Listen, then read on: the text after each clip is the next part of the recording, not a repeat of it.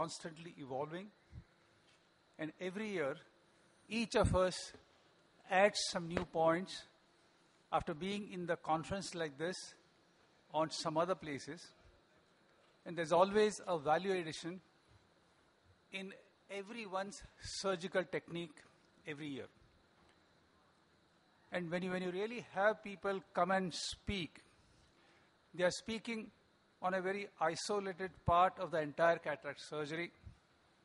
But by this exercise, what we intend to do is that at one go, the entire crowd, the delegates, who are, of course, as good or maybe better than the faculty sitting here, can share, can add some other points into there, or may raise some questions as to why.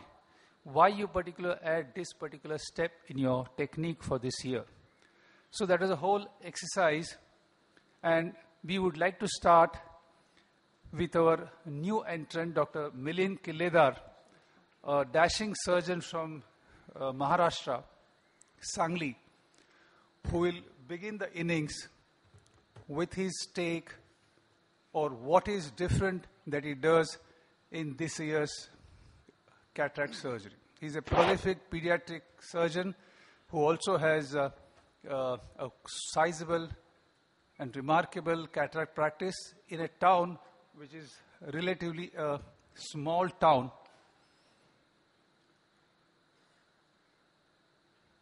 And in fact, when you, when you look at some of the speakers in other, other meetings, you realize that such brilliant points can come from any part of the country. And that is what has been making cataract an interesting topic so far. Dr. Milind Killedar.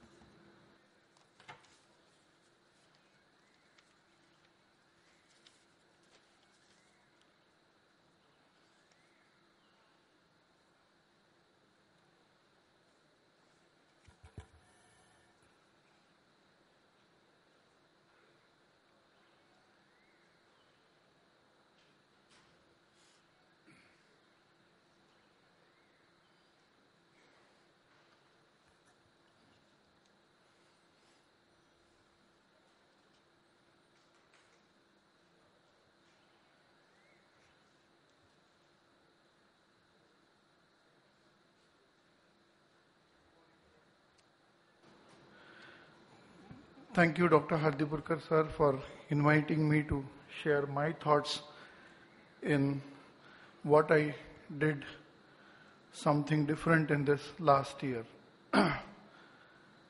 All we know about effective use of uh, phaco energy by modulating the power is decrease the energy use, shorten the phaco time, improve efficiency.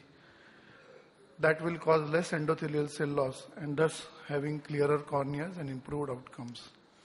You can see that in the slide, Howard Fine has proved it beyond doubt that lesser the phaco time, better the visual acuity in immediate postoperative period. So I decided to compare these two modalities of OZIL power in infinity machine, continuous OZIL versus burst OZIL. So what I would like to show you is a technique which you all can use to compare different modalities in your own hand. So what I did is I divided the nucleus exactly into two halves. So for the same grade of nucleus, you are using for each half two different modalities of power. And then at the end of it, compare the power used for both type of modalities of phaco power modulations. And then see how much power you have saved. So I think this is worth sharing that if you want to study on your own, a different modality is useful or not. This can be a very useful technique because you are comparing apple with an apple because you are dividing the nucleus into half. Now this second half I have finished with Ozil burst mode and then doing such cases, about 24 cases I did and compared the power utilization in both modalities. This was the table. And in the end, in half of the nucleus, I have saved 20% of the power. And if I utilize the same modulate, uh, modulation in whole of the nucleus, I would save about 40% of the power. So this was the message. Dividing the nucleus into two halves and using different power modulations for each half is an exact method of comparing power use in your own hands. Second is, I would like to show this case, which was a very hard nucleus, which we come across in India. A small pupil, post trabeculectomy eye, grade 4 nucleus and a shallow AC. So all these things are against us.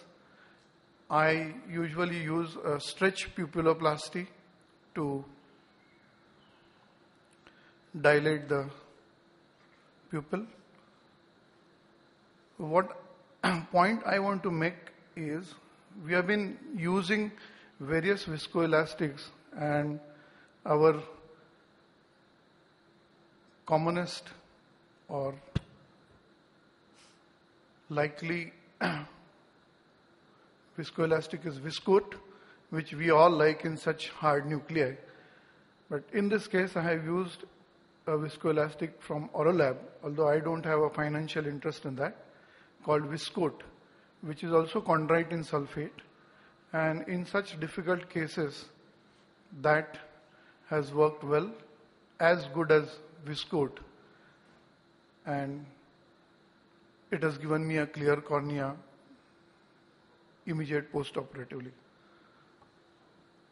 So let us not go into all the details, but dividing the nucleus into smaller pieces, repeated use of viscoat or orocoat in this case, and that's how you can get a clear cornea.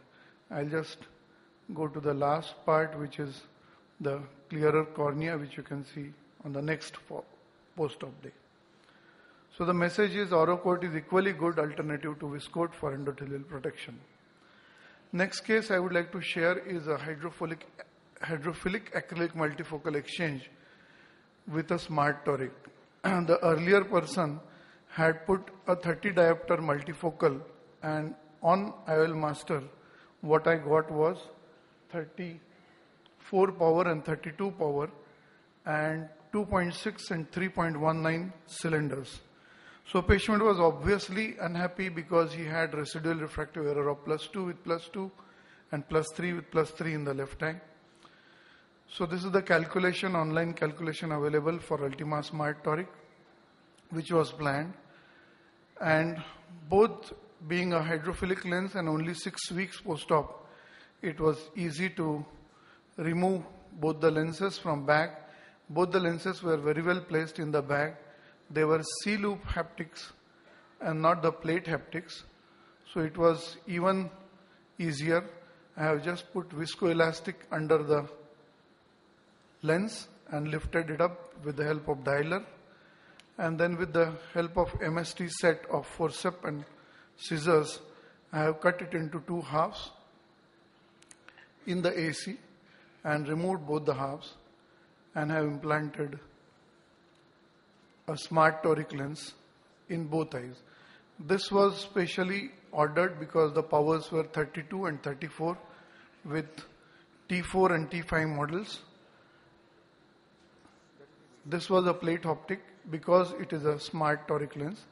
But even after six weeks of post-operative period, when the capsule was fibrosed, I was little worried that whether I'll be able to put all the four haptics inside the capsular bag or not, but it has gone very well and it was centered very well and I got a good result and the patient was happy because he got around 0.75 residual refraction which was minus and initially he was plus. So we should not refrain from offering an exchange IOL option to our own patients. For myself, I have put a target of anything more than plus 0.75 to 1 diopter, especially on plus side. I immediately offer on myself that patient has an option of exchange IOL. Next, or the last case, that you may not be always wrong. Herein, I did a toric IOL of plus 15 diopters with T2 model for a 1.4 cylinder. And to my surprise, what I got was minus 7 with minus 1.5 cylinder at 100 degrees. Now, this was an extreme surprise for me.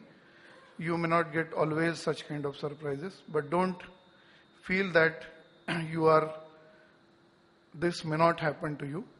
And this is what I saw under a special lensometer, and I got a surprise that the power was 30 diopters. So after exchange, the patient was fine.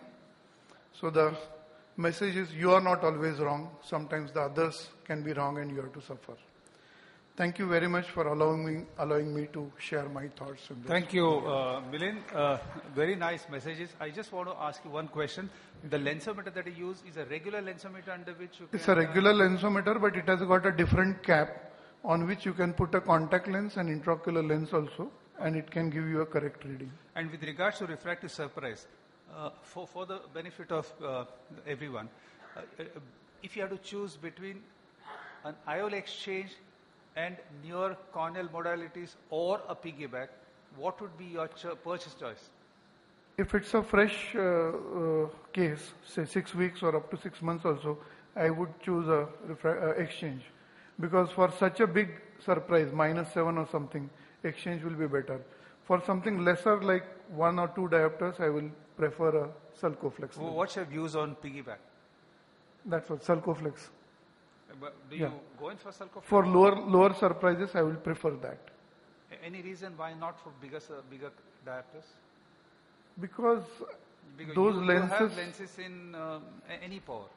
Okay. I- I was aware that it is available up to three diopters only. No, no, no, no. IOL exchange, I mean piggyback, Piggyback, with. Sulcoflex, uh, I think With any other No, I lens. think, I think sir, it, piece, it, it has a higher limit because these lenses, if they're very uh, high power lenses, the optics become heavier and the haptics do not support those lenses. So uh, up to two to three diopters they have and above that they specially manufacture at the higher cost, but I think it goes up to seven or eight diopters, not beyond that. There's upper limit to it. But any of the faculty has experience of using Indian phakic lenses as piggyback. No, I have not. Uh, in Agarwal, they are using it. I have not personally used it, but uh, they are pretty good. They are saying. I, I have used, uh, and I found, in fact, uh, when a patient with nanophthalmos comes, and uh, like recently I had one with plus 16 phakic lens, I mean uh, spectacle power. So instead of going for a primary piggyback, I decided because he was requiring 64. I did the first with maximum power that's available, that was uh, 40, and uh, uh, it was not 64, it was 54. Then I had to put 24 extra. And then I decided to put uh, the, the phakic specially made lens uh, with the required power. And uh, surprisingly, it hit on the target. And uh, except that all the time, I feel the AC looks a little shallower, the pressures are normal, the angle isn't close, but it looks a little crowded. But uh, the patient seems to be okay for six months. So I just wondered anyone And has. you have to do a PI for those cases. Oh, Yeah, obviously. No question. Thank Yeah. Thank you. And now we have uh, Arup, uh, the guy who's, uh, along with another uh, co-faculty like Dr. Amar, has been taking India across the borders to the international frontier. And we're very, very proud of him because we have seen his journey from just one of us to where he is today. Arup. Good morning, friends. Thank you, Dr. Uh, Suhas, for the very kind introduction. In fact, I owe you a lot uh, for my journey that, uh, that was kick-started with your help way back maybe 15, 20 years earlier. Now, uh, these two books have worked out very well for me. Cataract surgery in the diseased eye, posterior capsular rent, genesis and management. And uh, they have, I have put in a lot of effort, a lot of interest in these books, and I am sure they will be helping our fraternity, particularly the younger generation, to become better cataract surgeons. Now, on a more serious note, our surgery is an evolving process. New techniques come in, we acquire new technology, and usually it occurs in a stepwise increments. In my presentation, I'm going to show you a couple of events uh, in the context of the, of, the, of the theme of the program, and I hope they'll be useful for most of you sitting here. Now, this patient had an anterior chamber lens, which was little undersized, and cornea is going in for a decompensation. So I decided to perform a L-shaped uh, incision, scleral tunnel incision, so that I still will be able to come out in a sutureless manner if everything goes on well. Patient's cornea was not too good, vision was 624, and it was the lens which was giving us to the problem. So a fornix-based conjunctival flap was uh, raised, as you'll see here, and after adequate cautery preparation and all that, uh, the, the surgery went off well. So the previous option for rigid lens, of course, would be you, know, you have to make a big tunnel incision and take it out through the tunnel, which you might have to suture it. So here I'm recording a chord length of 6 millimeters. The, the optic size of this particular lens is 5.5 millimeter, so it is safer to make your incision a little larger. So a 6 millimeter chord length is measured, and then a, at the center of this chord, another uh, 3 millimeter is measured off, you know, along the sclera. Then I made a vertical radial uh, incision, about 50% scleral thickness, and that was continued parallel to the limbus on the right side for about 3 millimeters. Then he used a sharp bevel up crescent knife, extend the tunnel, go about 1 or 1.5 millimeter into the cornea. You extend the incision along the scleral pocket, as you see here on, on the left side. Make sure that there is no buttonholing of the scleral flap, or uh, in the process there is no dog earing of the scleral flap that occurs. Because you know, the whole purpose of uh, performing surgery through a tunnel incision will be defeated. So once that was, uh, the incision was appropriately prepared, uh, we uh, enter, I have not entered into the eye from the main incision, take a M- MVR blade, inject a good quality dispersive OVD, a viscoat to plug the area of the peripheral iridectomy to un, under the intraocular lens, under the anterior chamber lens to plug the pupillary area and use copious amounts of these to protect the corneal endothelium. Use the Sinskey hook to ensure that lens is mobilized. There's no synechial uh, fixation of the lens to the periphery in, in the angle structure. And it is important because if uh, the lens, there is peripheral synechiae around the lens, you may end up doing a lot of manipulations and there may be bleed, intraoperative bleed. So subsequently, the lens was rotated so that the haptic were aligned along with the main scleral incision, as you see here. One uh, problem that could arise here is that the one the haptic subincisional haptic may go under the peripheral iridectomy, so you have to be very careful. So I, I injected OVD once again. A, went in to protect the uh, to the enter the, vitreous behind the peripheral iridectomy, and using a 3.2 millimeter keratome, entered uh, the corneal valve was created about 1.5 millimeter, and it was carefully extended on either side. And then I created a second paracentesis incision. This was to facilitate intracameral maneuvering of the, of the intraocular lens. So I uh, used a bimanual technique where the lens, the subincisional le- haptic was brought in a visible area, used the McPherson forceps and pulled the lens out. Now, retrospectively, you'll see that some vitreous strand has uh, been dragged. You know, the, so I should have performed. This is being again shown in a, re, a re- a replay. I should have perhaps, perhaps performed a anterior vitre- vitrectomy stained with uh, after staining the vitreous with triamcinolone acetonide.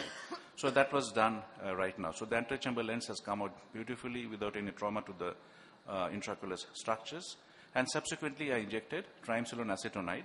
This is a 40 milligram per ml solution, 4%. So I diluted 1 is to 10 or 1 is to 20. You don't really require such a thick staining of the vitreous. So once the vitreous has been highlighted, uh, we uh, go in with the bimanual technique of uh, uh, it was it was done as, several times because there are a lot of some vitreous is coming from the area of the peripheral iridectomy. So I, I performed a bimanual vitrectomy, removed as all the vitreous that was present in the anterior chamber. So you have to make sure that vitreous is not present in the anterior chamber. At the end of the surgery, the stromal hydration was performed. Eye was quite soft. So I decided not to keep the eye sutureless. Instead of that, I put uh, two sutures just to be on the safer side. That this patient should not have problems because of intraocular hypotony and wound leakage in the postoperative period. This patient has done quite well and he's awaiting secondary eye surgery. So this is uh, the second modification I would like to talk to you about. IOL calculations in high, high we very frequently operate on patients with uh, extremes of ametropia. High myopia is very common. So I have uh, gone through a lot of problems. 15 or 20 years back, we realized that there's a lot of hyper, hyperopic error that was happening. Patients were la- landing up undercorrected.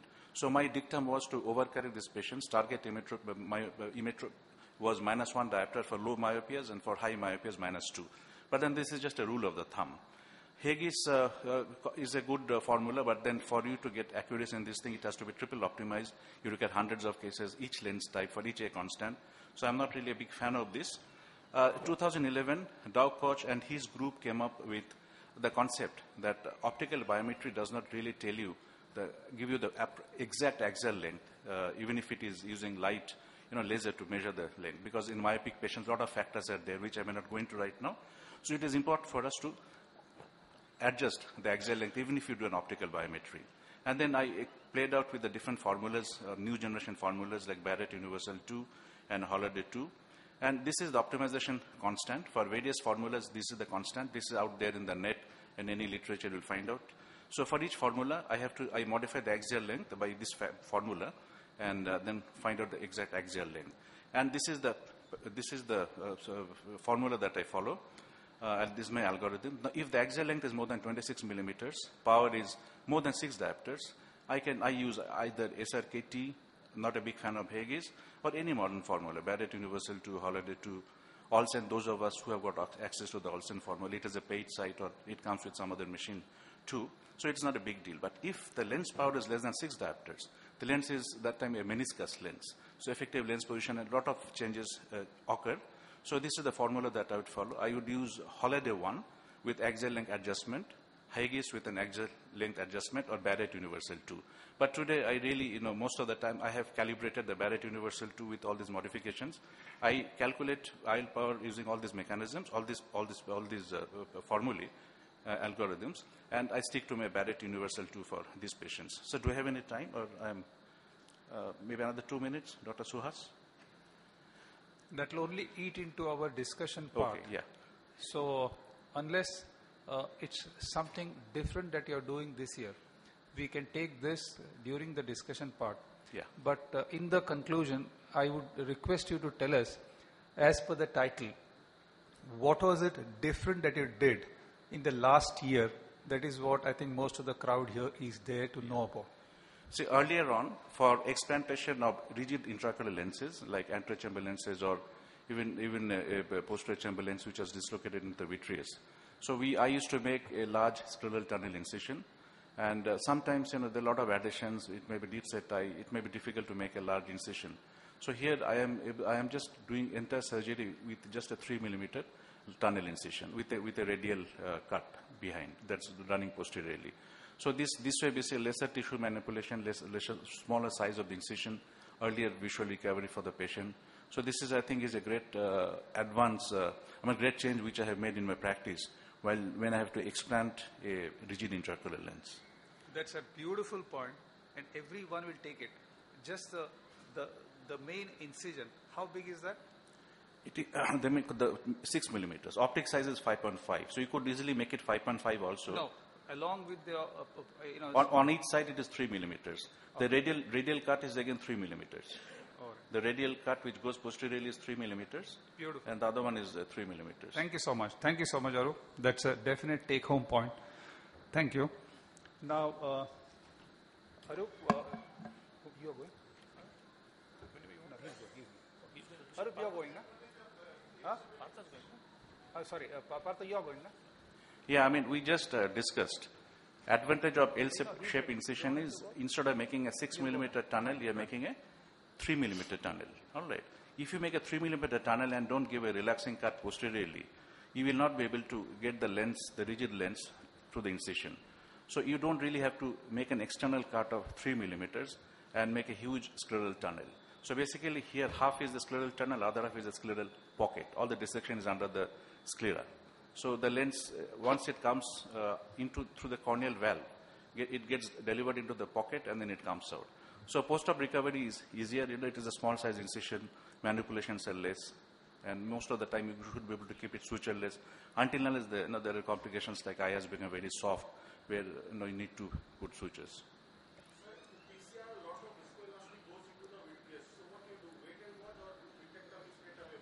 No, in this particular case, of course, you know, we did a vitrectomy. So, see, it is basically dep uh, dependent upon the, the type of OVD that you're using. If it is a viscoat, you know, it is, uh, the, the pressure elevation post-operatively is less compared to HPMC and, you know, Healon GV or Healon 5. But nevertheless, if a lot of viscoat has gone posteriorly, and in, I'm doing vitrectomy.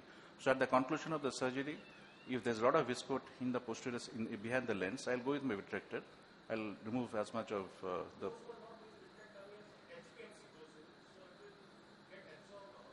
HPMC re- results in tremendous amount of pressure elevation in the postoperative period, and many a time, you know, in the, I learned it the hard way about 15, 20 years back in scleral fixated cases where the eyes will be very soft and use HPMC.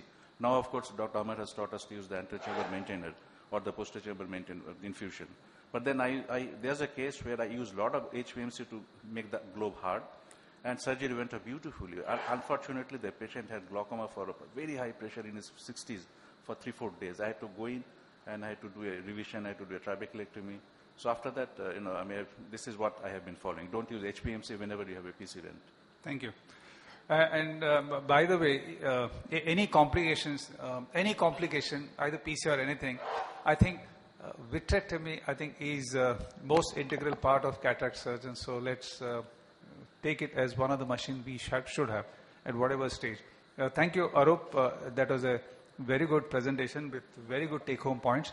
And I request uh, um, uh, Dr. Partho to come over and uh, give his talk. And I request all the faculty, let's stick to the title. Most of us are really interested in knowing what is that single or couple of points that we dif- do differently to make surgery a better surgery for us, for individually for me or anybody, than last year. That's the title.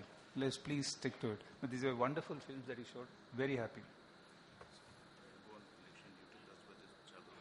It's always a big honor to be a speaker in Dr. Suhas Haldipurkar's course.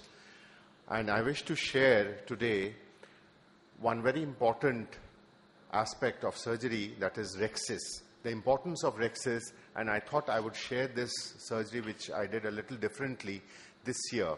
And I owe a lot of my learning of phacoemulsification to Dr. Suhas, and he was the first person way, way back when I first was doing my rhexis.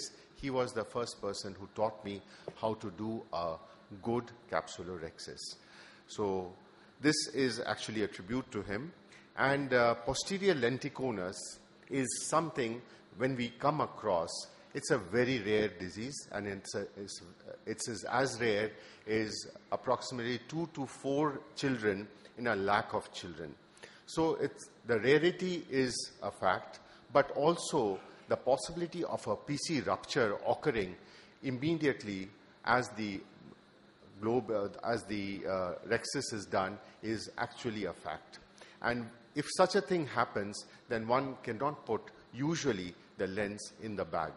So I'd like to show you this video in which we did th- something differently. And as you can see, this is a posterior lenticonus. We had, uh, it showed up as a small knuckle and that knuckle was uh, identified and we also could see the oil droplet sign and also the atoll sign in which there is a little bit of opacity right in the center. But the globe but, uh, the posterior capsule was not very uh, visible in uh, the rest of the places. So we go in under anesthesia of course and uh, we take the capsular rhexis forceps, the microrhexis forceps, and with a rhexis marker, try and do a neat capsular rhexis as much as possible, grasping and re-grasping each time. and using the OVD to the advantage of creating a capsular access as good as possible. The OVD has to be injected and re-injected and every time that you see that edit has come in, it means that some amount of OVD was re-injected. So after that, making a incision, the main port, and as we would do in a PPC, I separated the anterior cortex from the anterior capsule. And uh, I have to be very, very gentle in taking out the nucleus and the cortical matter. I do not do a hydrodissection because there is uh, the rupture in the posterior capsule and it can evidently come out. So what I'm doing is I'm taking out the anterior the cortex as much as possible. It's very, very soft and it comes out through the irrigation aspiration. And I'm leaving behind that little plaque sitting onto the, uh, the posterior lenticonus, the dehiscence of the posterior lenticonus. And uh, this is the point that uh, I'm, I'm, re I'm injecting from the side port uh, viscoelastic and getting it out. You can see very clearly now the fishtail sign where the cortex is actually hanging out. And uh, now I try and carve out the posterior capsulorhexis. Now this I think would be very difficult and I, I know that I can lose this posterior capsulorhexis at any point of time. But I'm going around that little opaque area which uh, is the opacity and uh, this is the importance of the atoll sign. The atoll sign means that there's some amount of fibrosis which has come in. And I am harboring on that fibrotic area of the posterior capsule and taking it around and uh, the posterior capsulorhexis gets completed. So now with the posterior capsulorhexis getting completed, so do a little bit of vitrectomy, the uh, amount of uh, opacity that uh, is taken out by the vitrector. And now we have that space between the posterior capsulorhexis and the anterior capsulorhexis. And I can be assured that we can put in the lens in the bag. So again, increasing the space between the posterior capsule and the anterior capsule by the OVD and going straight in to the uh, space with the lens unfolding inside, a single piece lens unfolding inside, and you can see the very nicely stretch of the uh, optic as it goes in through an adequate haptic. Again, putting in this uh, second, uh, the trailing haptic has to be done very gently and you should manipulate with the knuckle so that it uh, very nicely goes in. And of course, you need to do uh, a wash and you need to see whether there is any vitreous left in the anterior chamber. And once that is done, the rhexis, uh, the, uh, you can see the two rhexis and the lens in between. So this is, in fact, the first time that I could actually complete uh, proper rhexis in a posterior lenticonus. The posterior lenticonus can be uh, of 2 millimeters, it can be large, it can be of 7 millimeters, and if it is large, it usually gives way. So this was something that I really did, uh, which was new last year, and it was the first time that I could get away with a proper rhexis. The second case that I have a great pleasure again in showing is the, the small pupil and the way that I have done the small pupil using the BHEX. The BHEX is an invention of my very dear friend, Dr. Suben Bhattacharya. And if you have not used it, do, do use it this year, definitely. And it's a fantastic device. And you can see that uh, this is a pupil that is small, and this is the cartridge in which the BHEX is actually there. So one makes uh, an incision, and then you just need to put that cartridge and simply take this thin, very flimsy but a very strong and stable, it is flimsy yet strong and stable, uh, this hexagonal ring into the anterior chamber under the viscoelastic cover, of course. And it has these little, little holes which you can, with the manipulator which he has provided, and it can simply snuggle in very swiftly and very nicely some parts of this uh, uh, this video clip I have slowed down so that we can see how it can be snuggled in. And once, uh, and I'm as a right-handed surgeon, I put in all the holes and uh, tuck in the flanges through the right hand. And the flange that is near to the right hand can be moved out and go to the far periphery on the other side so that you do not have to exchange your hands. And you can see that these holes in the flanges are so nice and uh, they are so uh, appropriate that they do not stick to the uh, uh, to the manipulator. And we have made a 5.5 millimeter mark on the cornea and uh, we are able to do a very good capsular capsulorhexis. Now, after that, of course, you can see though uh, it is so thin, again the stability, however hard the cataract is, of course this is not a very hard cataract, but however hard the cataract is, you can see the stability of the anterior chamber and you can see the wideness of the pupil so adequate and uh, absolutely in, in proper place. So once this has come out, all that you need to do is to put in the intraocular lens and once the intraocular lens goes in, the removal is also very, very nice. The intraocular lens, see, you can see that uh, the wideness of the pupil is maintained and this is uh, placing the intraocular lens under irrigation. That again is very much possible. And uh, something that uh, did not really uh, feel very happy about, I, I told him, can I take it under irrigation? Can I take out your BHEX under irrigation? He said, don't try it, use a little bit of viscoelastic. But I did not uh, uh, mean to, uh, I mean, go against him, but, you know, it can swivel around like this, but it can also be taken out under irrigation because the irrigating cannula that you have, the port is facing downwards and the BHEX ring is between the uh, cannula and the intraocular lens. So you don't really disturb the corneal endothelium and you can simply take it out either with a forceps or with uh, the manipulator. And this is it. So this is something I think any of us who have used something in the small pupil and if we have used the BHEX, I'm really proud to have used this new device which I had not used and this was something very new this year for me and I really wish that you'd use the same for this year as well in your small pupil cases. Thank you very much, sir. Thank you, Dr. Partho. Now I uh, invite uh, Dr. Amar.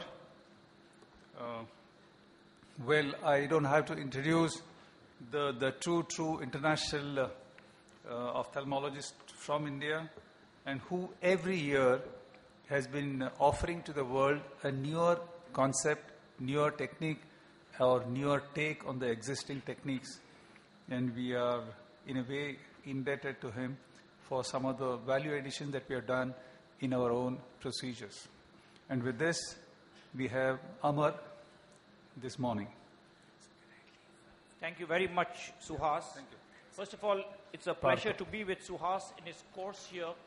And Suhas is something, someone who has done so much for ophthalmology globally. He conducts a hands-on wet lab internationally every year where it is snowing in Europe. And the people there who attend it always talk to me about Suhas and how much of education he's doing for everyone. Now, a new thing which we have just worked on is this technique called the triumvirate technique. This is coming out in the JCRS perhaps in a couple of months or perhaps the January or the February sheet might come out in. I'm not sure exactly, but it's already in print. Now the principle here is very simple. Triumvirate basically means three techniques rolled in one. Now imagine I'm starting to do the phacoemulsification and suddenly you seem to have a rent. And what's happening? The nucleus is started to sink. Now when this is happening, immediately you will realize stop the phacoemulsification. First step is try to bring the fragments out. Charles Kelman started this technique of the posterior assisted levitation, which was then popularized by David Chang and Richard Packard. Now the next step is, and I was discussing with Suhas just now, is when you have a rent, first thing, don't inject viscoelastic. Immediately put in fluid in the eye.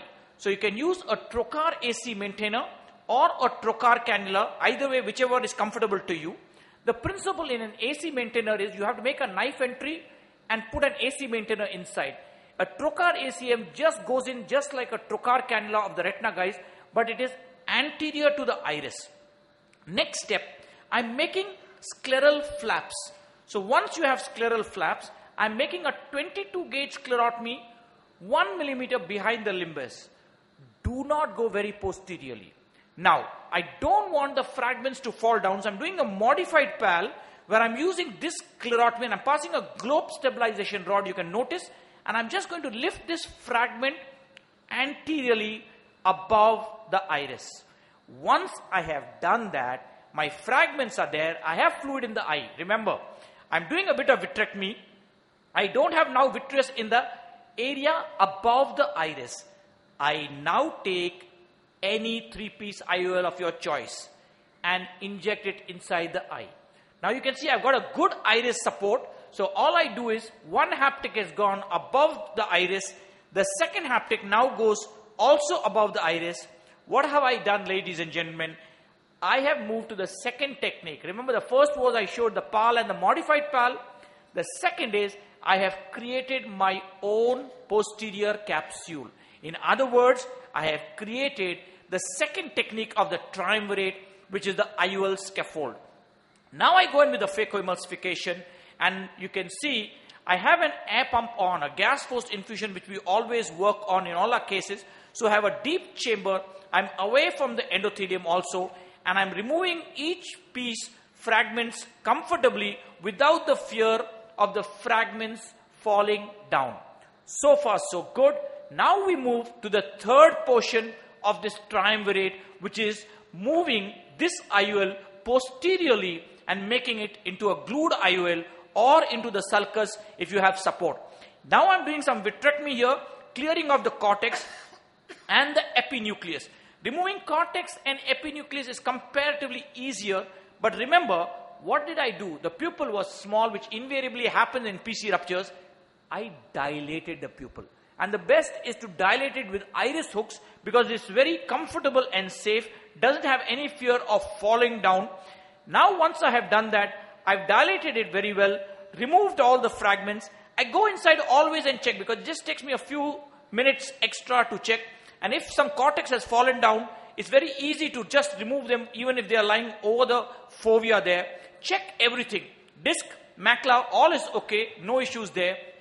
Now, I need to convert my IOL, which is in the eye, above the iris, to an IOL behind the iris. So look, I'm using two hands. So I'm using the handshake technique, and you can notice my assistant is holding an endoilluminator from outside, which helps me see better. So you can see now, transferring from one hand to the other, catch the tip of the haptic. Remember, if it's your finger and you're pulling it out, you need to catch the tip so that it does not break. Once first haptic is out, I catch the second haptic and I have pulled the second haptic also out. Once both haptics are out, now assess.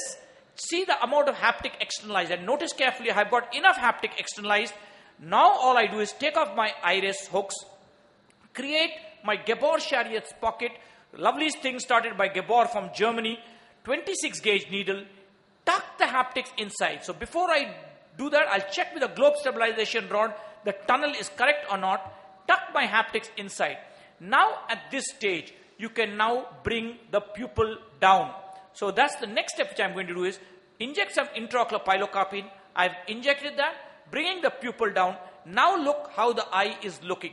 Finally, you can also inject some triamcinolone to see do you have any vitreous lying above the iris and if it is there you'll be able to catch it very well so ladies and gentlemen basic concept which i did here was now ending it with air in the anterior chamber finally with fibrin glue so to conclude what is this new thing which we have started is a triumvirate technique where we are combining three techniques for sinking nucleus one lift the nucleus up do the PAL or the modified PAL second create a posterior capsule of your own by the scaffold and emulsify the nucleus comfortably.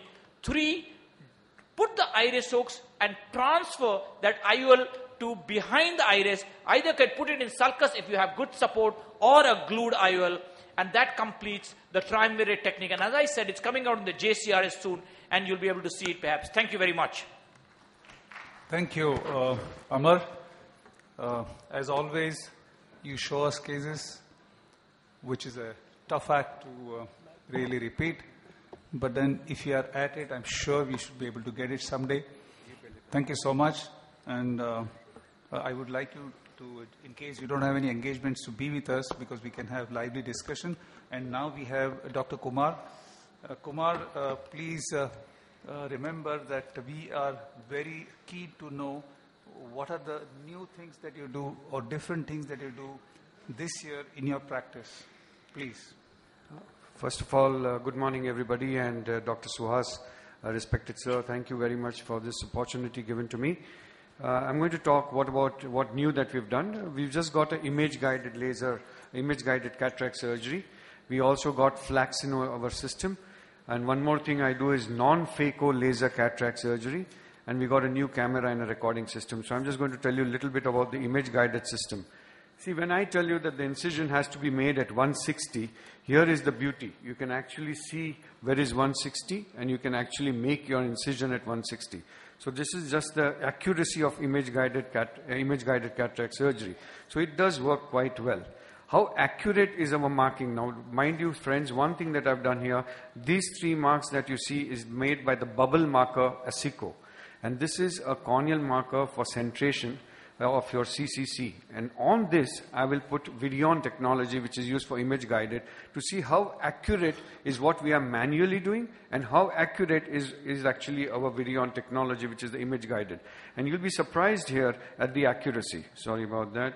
About the accuracy that if you put the Verion on and you take the blue thing on, you can see 180 degrees straight, 90 degree here. So our original in mark is as accurate as the image guided cataract surgery.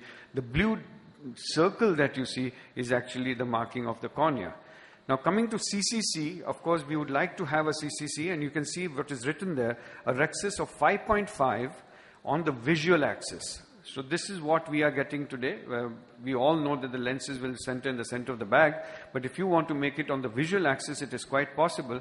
And once you've done your rhexis, remove the cataract, you can re-measure your rhexis. Whether it was 5.5 is what you thought it was or not. So I've removed the cataract now. I'm filling in a viscoelastic and I'm re-measuring the rhexis. So this is also possible as far as the image guided technology goes. So this is one thing that is quite easy. Then coming to toric placements. Now, if you have to place an IOL at 84 degrees, it's easy to mark 84, but not always easy to create it. So here we are creating the rhexis, which is there. We can, you can see very well the rhexis is 5.5.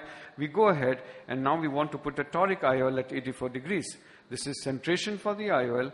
We take in a toric multifocal, and we want to place it at 84. Now, you can do it with manual marking, but a 84 can be 83, or it can be a 86. So how to make sure that it is not that, I'm going to go ahead and take the lens and then we place it. This is a multifocal uh, Symfony toric IOL and we go ahead and place it in the bag. And when we place it in the bag, you'll see how accurately you can actually place it. So here it's a guideline that yes, it goes perfectly in the bag. And then there are three or four dots depending on which IOL you use. That will align with your, this line which is the 84 degree. You can see there are dots here and there are dots here which are near the incision. And at the end of the surgery, if that is aligned, uh, it is very well. So additional benefit that you get from the image guided is to make sure that your alignment is perfect, your centration is perfect, and it goes quite well. So what is the benefit of image guided cataract surgery? It marks the incision and the side port, the sizing of the CCC and the placement on the visual or limbal axis, remeasure the CCC, toric placement, centration of the IOLs. This is not where it ends. Regarding calculations, you know your K reading, calculate the IOL with different formulas, you know your end result, refractive error, to calculate your surgical induced astigmatism, and to calculate an individual A constant for each IOL. This is also possible on image guided cataract surgery. So, this will give you additional benefit. We also added to our armamentarium the uh, FLACS system. You all know ICC, ECC, SAGS, and then we go to MICS, and now it's FLACS. I am of the opinion that it does not slow you down. It makes your CCC faster, hydro procedure faster, lesser phaco energy, and lesser incision time that you spend. Now, just want to show you the ease of the CCC. Just watch. The CCC is ready. It's a floating capsular rhexis there. What you do, just go in and pinch it like a handkerchief and come out. Another advantage of the hydro procedure, you don't have to struggle. You already have a pneumatic dissection. So when you do an hydro procedure, the fluid finds the same plane. So there is no struggle. Just watch the fluid wave, one injection, and you see a nice, slow, gradual fluid wave progressing. You can see the fluid wave being formed, and you can see the fluid wave slowly forwarding in this direction. You can see at this level it is going forward, and that's so it's very, very easy to do hydro procedures post FLACS. It's very, very comfortable, very, very easy. That is one thing. So I am of the opinion it is fantastic for subluxated cases, a nice CCC in small pupils, hard cataracts. Don't forget posterior polars. You can actually see the posterior pole. So this is a subluxated case and you can see how the, actually the scanning happens. And if you go ahead and do the uh, femto on this, I want to show you one thing here which is additional that I have done a CCC. The subluxation is this, particularly the CCC is away from uh, this area of subluxation. But this is very easy. Just remove the um, CCC which was done, then do irrigation aspiration, go ahead and put an endocapsular ring. What I want to show you is don't forget, friends, that was the area of subluxation, that when we put a lens, put an endocapsular ring, the lens will center in the center of the bag and not where your CCC is. So here I'm putting the lens through a small CCC and the IOL beautifully centers in the center of the bag. So if you have a system which actually scans the whole cataract and takes out a geometrical center, your CCC will be on the geometrical center of the cataract and not the CCC. So even if you plan your CCC on the visual axis, the lens will sit in the center of the bag and not where your CCC is. So this is what I feel is very, very important and a big advantage that we get in FLACS. Even Zepto will not be able to give you this. Another one thing that I want to show you is a new technique which is called non-phaco laser cataract surgery. So we've invented a cannula which is like this. It's an irrigation aspiration cannula with a phaco tip. So we just attach a phaco tip to the irrigation aspiration handle. It's just like any other phaco tip and you are just attaching it to the irrigation aspiration handle. Once you've done that, on that we put a sleeve. Once the sleeve is attached, uh, we just go ahead. Now the question is what happens if you have hard cataracts? What I'm showing you is a grade 2.5. I'm not using a phaco uh, probe at all. I'm using the cannula which we formed. Just remove the rhexis. Go ahead and put the same phaco probe and you'll see what happens. There's no phaco energy being used. There's no shutter. There is no chatter. The piece remains at your place. It's just an irrigation. Look at chamber stability. Brilliantly well maintained chamber. Excellent stability. You can go ahead and aspirate the whole cataract out because they've become small cubes. There are sectors at the same time and there's no phaco energy. This we have done till grade 3, 3.5, and we are doing more experiments with this laser system so that we can even do it for grade 4. So this is another new thing which is called non-phaco laser surgery. And the last thing is this. So we've got a new Sony camera, and if you see this photography, you see beautiful depth perception. Um, and you can see an excellent resolution. This is a three-chip HD recording. Uh, you saw the rhexis being removed and a nice fluid wave going. So I think photography is also very, very essential for people who are doing lots of presentations uh, all over the world. And this is an essential uh, requirement for a good technology. So you can see excellent depth, good quality of recording, uh, which I think is essential for every uh, ophthalmologist who does lots of presentations. Thank you all for your attention. Thank you, Kumar. You are a high-tech guy from Bombay, and you have lived up to your reputation by bringing in new technology, and thank you. Thank you, And sir. I would request you to be on the panel because we'll have some good discussion. Is Dr. Gaurav Luthra there? All right. I, I think I will take, uh, since I was to take the last, I'll take now.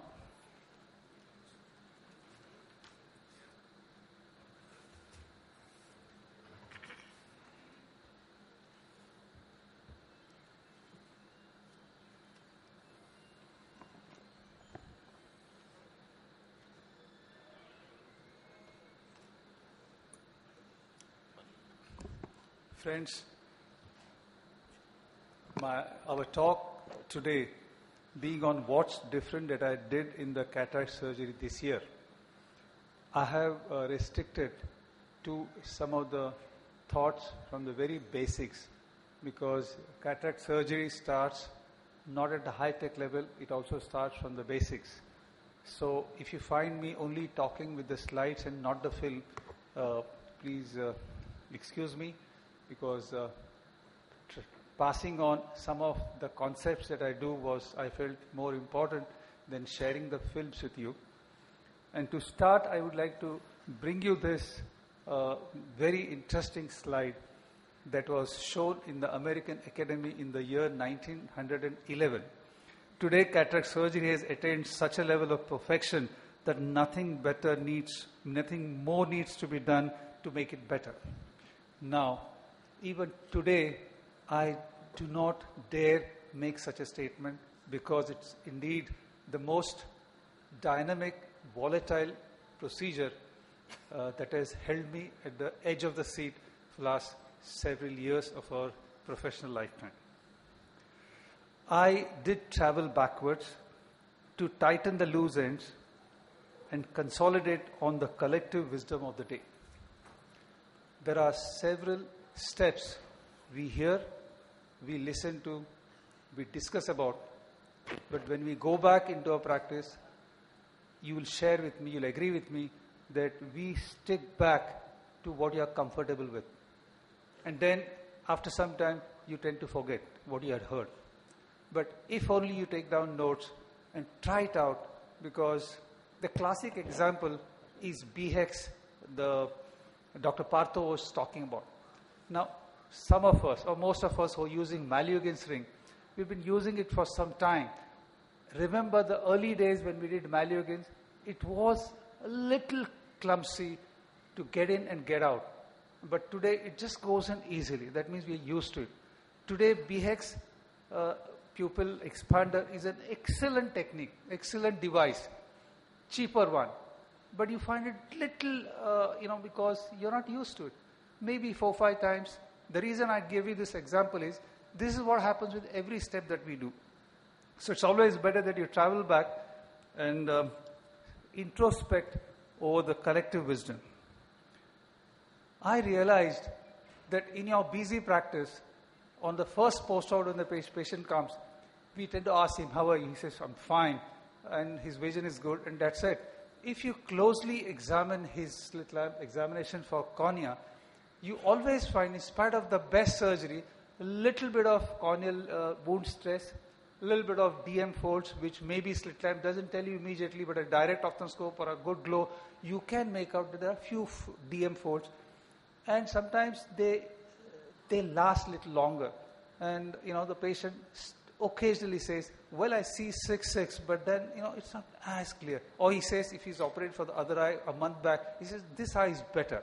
The reason is those things. Is it possible to get over that? A close examination at the way we use our energy during the surgery can definitely, definitely help us get over that. So it will be like for me a personal victory if I see my patient first post-op day and if a patient in whom I have done a prelex and in someone in whom I have done a dense cataract, if both of them can have a similar corneal endothelium the first day, then I would say that that's my personal victory. And my t- this year's journey has been looking at it and finding out can I? Because I know for sure when you do on a do a prelex, where you hardly use any phaco energy, you're hardly there for any time in the eye, the cornea tends to be better. Why it's better? The difference is only in the amount of time and amount of energy that you use, amount of fluid that has gone and come out. Can we reduce it?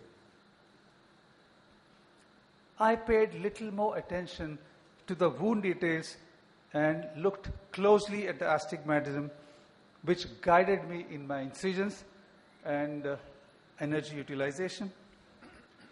Well, for years together, I was a very, very, um, very open and uh, big advocate of limbal relaxing incisions ever since they came, and I did them very proudly. But over the years, I have realized that one, they are not predictable. Number two, they don't last long. So it was more of my own personal satisfaction that I did an LRI for this patient. At the end of the day, uh, that LRI really didn't work unless it was, let's say, 3.5 and I did LRI and then it came to around 1.5 and I was happy that, oh, at least this much I could reduce. But at what cost? At the cost of causing so much of aberrations into the cornea that today for me, uh, LRI goes back to the side, to the place where my RKs, AKs, and uh, transverse case are resting. Because you have, you have excellent array of toric lenses. and our knowledge of toric has improved so much. I always like to, uh, you know, share how when the toric lenses came in the beginning, it was advocated as it's very easy. There's nothing new that you need to do. It's just instead of putting a monofocal, you put toric and that's it. But no, today toric requires a huge workup. And uh, just now, Dr. Kumar was talking about Verion and Callisto and all that. If you want to go that extra one more step, there's so much there is to do. And that's the reason I always feel it's so exciting that every day we keep on improving our cataract surgery in spite of doing it every day. And we are thankful to that, uh, to the Providence for providing that technique. Now, 2.3 and 2.4 have taken place of 2.2 sometimes, uh, depending upon the type of keratometric profile and the type of lens insertion that I use.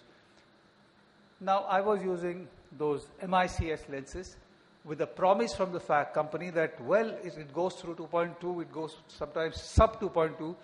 But when I actually started doing a study using intraoperative size of the wound that I was causing, soon after the keratome goes in and soon after the lens goes in, to my horror, there were some lenses which would consistently make it 2.3 instead of 2.2 that I began with. But there were some lenses which were sincere enough to their promise so once I know that, I know there's absolutely no, prob- no point in literally sticking to 2.2 and putting a stress on the wound. So safely I would go to 2.3, sometimes 2.4. And if it's against the rule, I have no hesitation. And if I feel that this patient can do better uh, with a three piece, I would certainly go for it.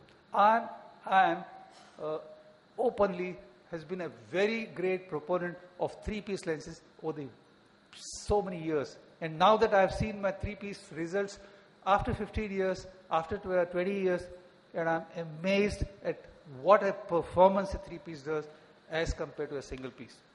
The only drawback today is that you need 2.8, and there are several cases in practically everyday cases where 2.8 is just okay. There's nothing great to stick to 2.2 if there's already an against rule astigmatism.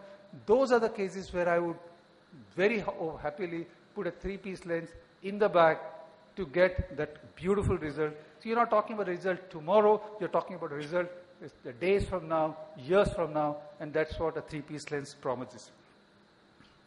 Well, efficient functioning, a quieter eye, minimal energy, and minimal energy in your utilization, and of course, the quick surgery, they do not go hand in hand. I often come to a conference, go back depressed because some of our friends do their phaco surgeries in five minutes and four minutes, and I wonder, oh my God, I take so much time. But it doesn't really hurt because to your patient, that's the eye. So if I take a minute or two more, but I take care of these small, small things, it, it's still worth it. I have experimented this year with lots of mix and matches of phaco tips and handpieces and tried them on various different uh, phaco machines wherever it was possible.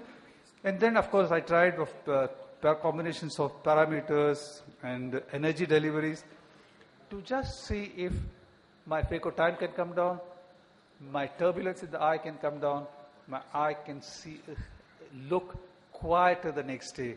And to an extent, I have realized that yes, it is possible in the eyes where the tip can go on to another phaco handpiece. And there are some tips, like I can talk of a tip called Easy Tip from Oertli, which easily goes on to a new machine from the AMOS, which is uh, intuitive.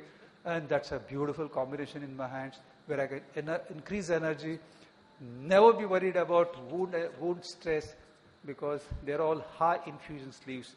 So that way, I think one has to keep doing with the things you have at your disposal.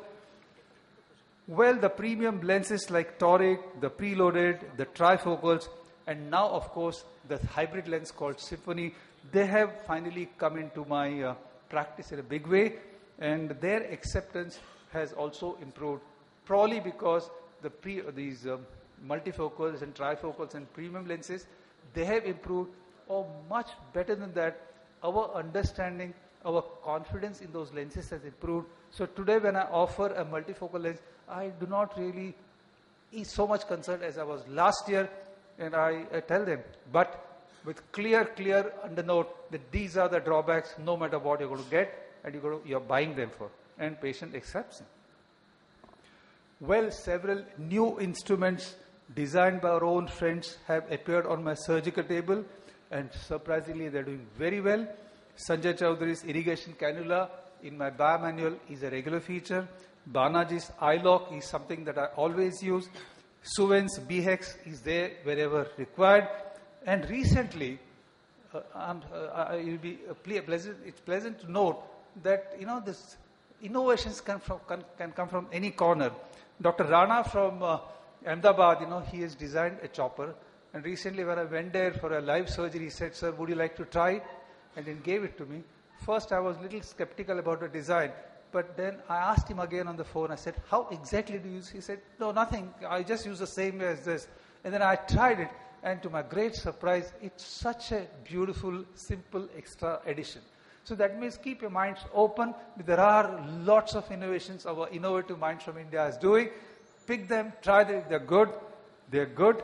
And all in all, it has been an interesting year. And I wonder how far will this never-ending affair with the same cataract surgery will last. Thank you so much for this wonderful. Is Dr. Luthra there? Fine. So can we have some questions? If, if, any of you have any questions, we still have some time. Uh, yes, please. Please. So you are talking about the three-piece lenses yes. that you are finding more and more. So in what way you are thinking that uh, these three-piece lenses are better? Yes.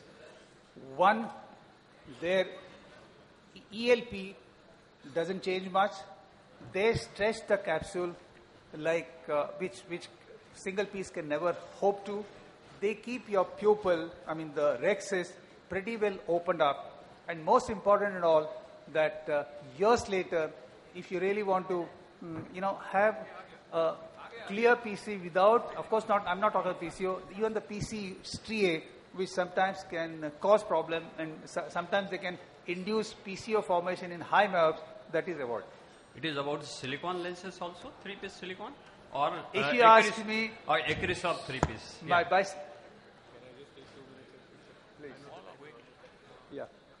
Yes, of course. I tell you, when I was talking right now, I was not talking about uh, silicon because silicon is anyway out of our minds.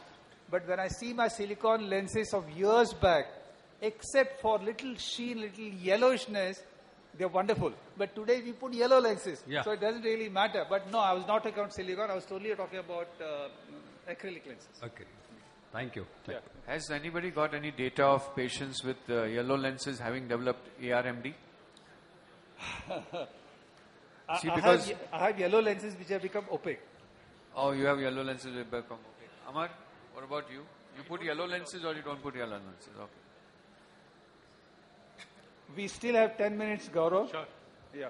Uh, any questions we can always take now since we have taken a break. Yeah, please. Ajay.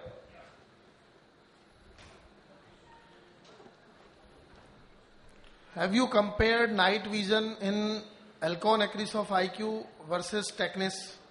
What is your experience? That's a lovely regarding question. the night night vision and uh, quality of the vision in the night time? while driving between these two lenses? Well, I don't want to get into controversy, but here we are comparing two different platforms. Now, Tecnis is based on a platform which has definite, certain clear-cut advantages, and then we compare it with another, also kind of acrylic lens, except that it's slightly yellowish. Now, that yellow color, its usage is anyway debatable but if you talk about the glistening part, you'd always get it after a few years. And glistening part to our eyes, it may not make a difference, but if you're checking the pure quality, a glistening will give you a lot of lens, light dispersion and brings down the quality.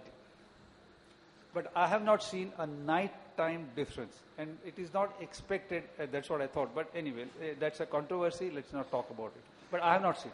Thank you. Yeah, Partho. Hello. Yeah. Last Yeah, question Jai. before. Uh, um, Hello. uh, I'll just, uh, about the, the post-op day one, the subtle changes that, uh, endothelial changes that you see, a little bit of. Mana- What changes have you done to correct it? That's all, because you had come and to that Yeah, point. yeah. And anything about the, where you are doing phaco, are you going back and seeing, or have you used uh, more viscoelastic or less viscoelastic, some maybe viscotin? There, there were certain steps like the quality of uh, viscoelastic, meaning I always go for a combination of sodium hyaluronate chondroitin, that's one. What I do again is uh, I also inject a little more after the hydro before my thing goes in, which many others do routinely. I was never doing that. Number two, I stick to in the back truly till almost the piece is about to be emulsified. Only then that single piece I take out, do it and go down. And thirdly, use all the phaco energy to see that, you know, the amount of uh, energy delivery in the eye, if it can be kept to minimum, I keep. That's it. And, and then about the wound. When you have a wound which is tight, it's always under stress. Sir, can I, Yeah, yeah. hello? Can I, uh, Please. This is about LRI and the statement that you made to include them in the Hall of Fame. To me, sir. Okay. I think that pretty much concludes. Thank you Yeah, very it, much. it's a wonderful technique. There's no question. Sure. All right. Um, Thank you, Dr. Haldipurkar sir, for uh, giving me this opportunity. I apologize for, you know, getting stuck uh, in the other hall and uh, just rushing in. So, if I can have my slides, okay, great. So, I just wanted to share a couple of things that I've been doing um, this year now. I have been using a Verion, which I think Kumar also spoke about, and I won't speak on Verion because uh, the, what happened is that uh, when I started using Verion in one of my OTs and started using that for the rhexis, I started getting my rhexis really, really well. So what that did was in my second OT, I started feeling the need for a Verion-like device and I didn't have any. So uh, we went back to something which I had used almost three, four years back and last one year now I use it completely for all my cases. It's a, basically a simple rhexis marker because it just, uh, you know, this rhexis marker uh, is available by several uh, names, but uh, I worked with Epsilon and we innovated to develop a design which really works well for me and I just wanted to share how it makes life very simple. So although this is a Verion overlay which shows you how my rhexis will coincide with that on the Verion, but if you notice here, uh, this small rhexis marker which costs just a few hundred rupees gives you a very nice uh, mark to work with and uh, this indentation is so little that it mark goes off by the time you finish your surgery and I would really want to uh, encourage all my colleagues here to think about using this. It gives you almost the perfect size each time you know, in a bigger cornea, in a smaller cornea, you will always get the right size because when you don't have a mark to work with, your size can go wrong by almost a millimeter or two this way or that. So this mark disappears by the time you finish your surgery and it's only there. So it gives you a perfectly round, nice femto-like rhexis in every case. And I think uh, this is a great useful tool for uh, making your rhexis right. It takes just one extra second to use, but just see how nicely your rhexis comes out and it coincides with what you might get with a Verion. So now, uh, in fact, I don't depend upon Verion at all and I use the rhexis marker in both my OTs. I feel it is actually superior to the Verion system in some time, some cases because the Verion system can actually move around. Now, in this case, I wanted to just demonstrate how, uh, you know, the Verion can actually go wrong while this mark will not go wrong. So, if you just uh, watch there, we'll do this rhexis with the uh, rhexis marker mark. Uh, once that you follow the marking on the ring and then you can just watch that in the towards the later part of the procedure, we check it and the Verion actually went off. You know, so Verion is actually moving off because it's trying to detect the landmarks and sometimes the Verion will not come out well. Just, just watch here. This is almost a perfect rhexis like what you would get with the Verion system. Anyway, so this is a nice simple rhexis marker and uh, I think uh, just very, very easy to use. Now this is an another uh, thing which I wanted to share with you. Uh, in pediatric cataracts, when I started doing torics uh, in some of the 8 to 10 year olds, occasionally I used torics. I did not want to suture the wound. So about a year or two back, I, I thought of uh, a way that um, I would not have to suture these wounds and it has really worked well and I actually use this to seal the wounds in my pediatric and adult cataracts in many patients even uh, who are like 4 or 5 years old it seems to really work well, uh, but so much so also in adults. Now just watch, uh, I'm using my infusion on in the left hand, the surgery is almost finished, I have to just close my corneal wounds. And what I'll do is I'll make this small supraincisional tunnel which really, so rather than struggle with trying to hydrate your wounds, if you have a wound which is even slightly leaky, or in pediatric cataracts where you really want the wounds to seal well, you just make this small pocket and hydrate the pocket rather than hydrating the edges of the incision. Now, once you hydrate the pocket, the roof of the incision, uh, it actually swells up nicely and the wound seals really well. So, I've done that for this incision, this incision, and this incision. Now, I have my three wounds uh, hydrated, but how do I ensure whether they are actually sealed or not? So, I used uh, another small uh, innovation uh, where uh, we put trypan blue, just like a Seidel's test. So, a drop of trypan blue on all the three wounds and just watch what is happening. Two wounds are not leaking, these two, but that wound immediately has a positive Seidel's test. Just watch. So immediately there's a stream of uh, aqueous coming out and uh, you will notice that then I try to seal it again and then test again because trypan blue is lying in almost every tray in the OT now in every surgeon. So the, it's leaking less now but it still leaks. So after trying several times, now this video is edited, I tried in this pediatric cataract seven, eight times. I decided that I can't leave this uh, wound un- unsecure. Either I have to put a suture. So I decided to make another supraincisional pocket on my side port as well. Just watch. And it's a simple technique. Uh, only thing is your eye has to be tight. So you can switch on infusion or you can put visco inside or you can use a side port to put on your infusion handpiece and then on this pocket you can just hydrate a little bit. The moment you do that, the Seidel's becomes negative again. So it's, uh, it's a very, very easy technique to learn and uh, you can all uh, try this at home and then see if it works for you. I, for me, it works really well. So do I have one more minute to show one last uh, uh, innovation that I'm using? So uh, for my torics now, uh, although I do use the Verion system, which is really nice, I totally depend upon it. But for the calculations, I'm using the T-cone with the Lenstar, which basically is uh, a Placido plus uh, simple uh, keratometry. Now this is what I wanted to show you. There is a toric planner which comes with the Lenstar, which really makes life easy. Now when you use torics from two or three different companies, you might be using Alcon, Tecnis, and then Hoya and several others. So what happens is you have to go back to the formulas and feed the data into the system to calculate which toric you are going to use. Now on the Lenstar, this is a nice software which allows you to just calculate for any toric lens. You don't have to transfer data to an online software and uh, you can easily move around your incision. Just watch. This is my main incision. This is the axis of the lens. I can move my incision in any direction. It's, uh, it's a touch screen. And if I move my incision over here at the bottom, you'll see the predicted astigmatism. And you can actually aim for a zero astigmatism after you feed your SIA. So once you move this incision around, the SIA keeps changing and then the Lenstar will uh, you know, tell you where to position your lens. It really, really makes life simple and you can have calculations for the two or three different toric lenses and aim for emmetropia in almost every case. Whether you get it or not is a different story. So I think again, uh, life is making, becoming very much simpler and now uh, we don't uh, have to worry about our uh, designs. And I think this, or these kind of softwares will come on almost every machine gradually. Right now, the Lenstar does it, but I'm sure they will all uh, get it similar kind of software. With that, sir, I think I'll stop because uh, you know. Beautiful. Thank you so much. Thank you so much. But just half a question. That Lenstar, the same optical biometer that you're talking about. Yes. Is it a new feature on that? Sir, it, it is available as an upgrade, so it's a software upgrade which you can ask for. And normally they were supplying it with the T-cone, that small cup which comes with the topo with the Placido, but now they give it without that also. Thank you so much. If you just push them, I don't think they'll charge you for that. Thank you so much. Thank you so much. Thank you. Thank you all for being with us on this morning. Thank you.